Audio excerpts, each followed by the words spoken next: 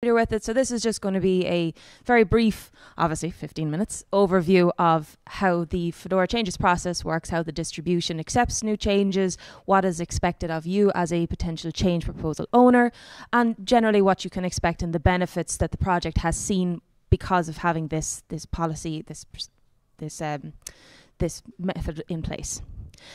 Okay, so quick overview. Um, hello, my name is Aoife. Uh, I am the Fedora Operations Architect. That is how you say my name, despite all of the vowels that they could possibly cram into to a, a one syllable sounding name. Um, two, really. And uh, my predecessor was a gentleman called Ben Cotton, so some of you may have known him. I was very fortunate enough to be mentoring with Ben Oh, in my, I know, but he has given me full, like, full creative license to give a nod to like an obituary anytime I mention his name. Like, this is a running joke. So, apologies, I'm letting you in now. But anyway, Ben, God rest him, um, he was uh, my mentor, and I've been able to learn through the the Fedora changes process through his wise words that live on in his book. Please buy. Okay, so um, the changes process itself. I didn't realize my boss was in the audience. um, so it's very important to note that the Fedora changes process is not about gatekeeping. We are not in a position to like ban people or dampen people's ideas on what they want to see the distribution become or use it as. Fesco is. um, no, but they they're not. If you have a reasonable a reasonable change, they they will listen. Um, but it is more about communication not about gatekeeping, not about gatekeeping, more communication. It is meant to serve as a flow of communication within the project, throughout the project, and outside of the project for what is happening in Fedora. Um, the Fedora project is a hugely diverse place, and information is everywhere and also at the same time nowhere. So this process just keeps things like this very centered. So you know what to expect, you know where to go, you know who to reach out to when you when you're looking to make a change in in Fedora it covers what we build. So if you have a change and it is going to affect what is actually built in the Fedora operating system, um, and it's like vanilla Fedora, so not necessarily any of the spins or, or that stuff. It covers mainly additions and the operating system itself. So if you have a change that you'd like to make and it hits that, it's a change pro- proposal. Um, if you are changing how things are built. So, if you have a new image generation tool that you want to introduce to the project, that's a change proposal. Um, it also covers some policy changes as well. So, if you want to change maybe from uh, dynamic linking to static linking, it came up last night in dinner, so that's a good a good example. That's a change proposal.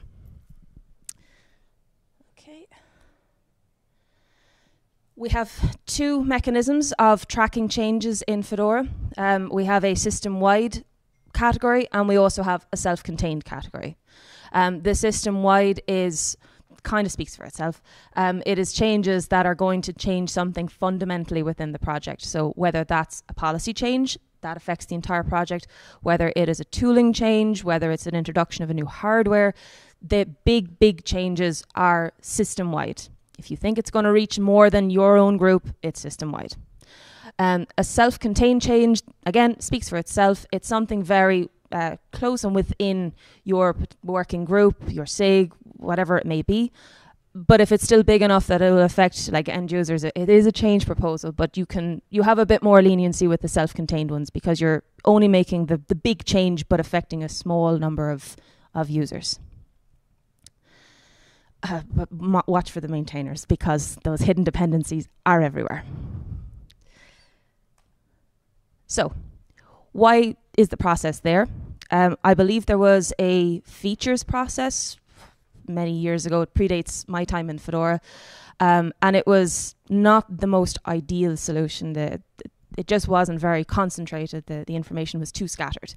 Um, so the changes process was developed basically to build awareness throughout the project so that if I'm making a change and Ellen, who I know in the audience here, uh, is a maintainer and she's she can see my proposal. She can read it. She she understands what it's about and she can see, oh, crap, that's actually going to really screw up my project. So it's building that awareness within the project itself that like my change is not going to screw up her work and vice versa. coordination um, in a project like Fedora, in an, any open source project, you know, coordination is key. People need to be able to work together. They need to know where they should be able to reach out. So, like to have a central coordination point for changes that are going to affect you is key. Um, so the changes, pro- the change proposal policy, changes process, that serves as that coordination point for for the project itself. And generally, it just makes things a little bit easier because it's this like continuous, steady flow throughout the project's development cycle. It's a six month development, it's fast moving. So it's nice to know that there's this one continuous factor when you're trying to land changes, uh, do, do your work, test, test anything coming up. The changes pro- process is just that central linking point to give a bit more detail into it because it's a really great process, obviously. Um, it gives a heads up as well to not only just the people within the project, but those who consume our project that may not that may not necessarily like contribute code but enjoy using Fedora. So it gives a heads up to people who are interested in what may be coming in the next major release of Fedora.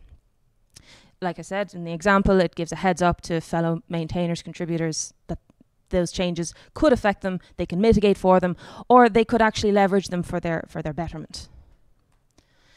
Um, another great little side effect that we have been recently seeing with the changes process is that the Fedora marketing team is really super strong. It's headed up by a gentleman called Joseph Gayoso, and he's wonderful. But he's also now plugging into the changes process to to like grep some new changes coming into the new release um, and starts generating some some buzz about it. So there was a lot of atomic changes. Fedora Atomic landed in F40. Joseph was using the change process to follow along with those changes, the change set to like take a couple of the, the finer points of it and start like generating a bit of hey guess what's coming in in fedora 40 there's a fedora atomic rebrand coming so it was we already had a, a little press buzz for the new release from the marketing team utilizing our changes process Welcome. And like I said, it's also good planning as well. Like the fact that you have visibility into other people's ideas of work and their and what that work would entail is invaluable in software. Um, the fact that you can share it, it's transparent, you can find it, you can read it, you can offer some advice and feedback on that work. Um, it's it's really amazing to know what the left hand is doing if you happen to be the right hand. So. Okay, very quickly then. So we know what it is, we know all the good stuff that it brings, and now you may be somebody who'd like to submit a change to Fedora. So what do you do? How, how does it work? Couldn't be any easier. You have to prepare your idea, prepare the proposal. It's all housed in Fedora Wiki right now. Um, may end up in discourse in some later date in the future. Uh, we're still tinkering with that. But you prepare your proposal, there's a template, um, Fedora Wiki, and then you just do your, your slash and then your name of your proposal. You fill out the relevant details and then you submit it. There's um, there's a bracket that you change. You just tag it as change ready for Wrangler, and it shows up in a queue for me. So that's your submitting proposal section. Then the fun part starts the community feedback. Depending on how wild of a proposal you are, uh, you will get a lot of discussion, or a standard change will get a lot of discussion. No, it doesn't. The, sta- this, the standard ones, most nine times out of ten proposals are very, very well received. Depends on the quality of how they're written, you know. So I would advocate for everybody to, if you're submitting a change proposal, to make sure that your summary is quite clear. Go into your detailed description. Include some release notes if you have them. They're very helpful, um, and especially the how to test. So people that are reading and would like to like test out your theory, like does this actually hold water? You've given them you've given them means to do so and either support your, your proposal offer you some updates or iterations on it, or outright say, that's a crock of shit, don't do that. So the community feedback period is usually about two weeks ish, thereabouts. Um, and it is great because it, it involves our community into our changes. Like, we don't want to build an operating system from like a core group of people. We want to have that community engagement there. So it's it's really wonderful that our changes proposal process incorporates that into it.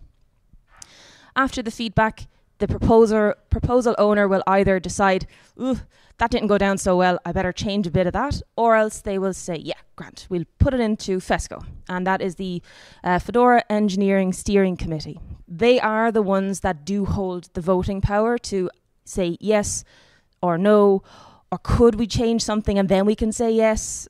So they, they are the ones that ultimately your change proposal will come down to, to a yay or a nay and they're they're very receptive as well. I can't advocate enough for them that if there is an issue with your change, they will be very communicative back to you and explain, you know, I like it, but this could do with some changing. Could be as simple as a, as a rename, you know, maybe make the name clear. They'll vote, and if you are successful, do the work. You've t- told us what you want to do. We have listened. We have shared what we wanted. We have said, yeah, sounds great. Now it's up to you to do it that is basically it in a nutshell. Um, when you're doing the work, you will have me pestering you saying, Hey, uh, is it ready for testing yet? Oh, uh, the deadline is coming up. Make sure that it's available for testing code complete yet. Oops. So, we've done what it is, why it's good, how to do it. Now into the nitty gritty parts, and I cannot stress this enough the dates, people, the dates. Important F41 deadlines are right around the corner. Um, we are looking at the beta freeze on the 20th of August, which seems like a lifetime away, but it's only maybe eight weeks or less. The beta freeze is where you have to have your changes 100% code complete. At the moment, we're targeting the 15th of August for the F41 release. That was a typo, sorry, because um, F40 got out fine. And then if you're running F39, two typos, sorry about that. F39 is the 12th of November. So that's your EOL date for F39. Okay, and just a little bit more because I am harping on with the with the deadlines and the dates. That is a large part of my job is watching those. Um, you are just around the corner for some change proposal deadlines. If you have something monumental that our whole infrastructure layer will have to be rebuilt, please get it in by next week. Hopefully not. Um, If you have any changes that require a mass rebuild, 25th of uh, June.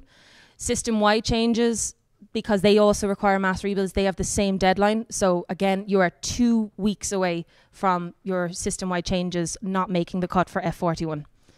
And then you have a little bit more flex time with the 16th of July as your deadline for the self contained ones. Uh, we're going to be branching on the 6th of August, so that's why it's really important to get your system wide changes in even earlier than that date. Like that date is your drop dead date. But if you could get it in tomorrow, today, in 10 minutes, that would be even better. Give yourself that runway to like land the changes in Rawhide, do some testing, and then all you're doing is just tidying up your code, making it clean, making it nice for, for end user consumption. Um, if you want to get more involved in the changes process, there's plenty places plugging in into it. You can just follow along. You can give some feedback on current changes that have been proposed.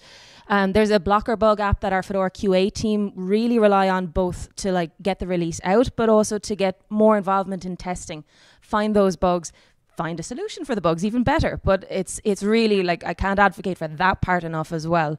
Blocker Bugs app is your one-stop shop to to really make a difference in the Fedora release come crunch time. And you can absolutely always help with packages and apps. I don't think there's a package or app maintainer here that wouldn't take the hand off of a contributor that tried to help them with, with anything. So always that. And there are loads of test days in the Fedora project, both post release, pre release, lots of times in the cycle. I think there's even one currently, or just had been one on the DNF5 change. So watch for the test days. They're usually posted on the community blog. Uh, Mukherjee is usually the, the the brains behind those, and they're a great way to get that early testing into our next upcoming release. Um, there's a ton of links. This will be, uh, these slides will be available on the pretalx once I have them updated. And that's it. Thank you.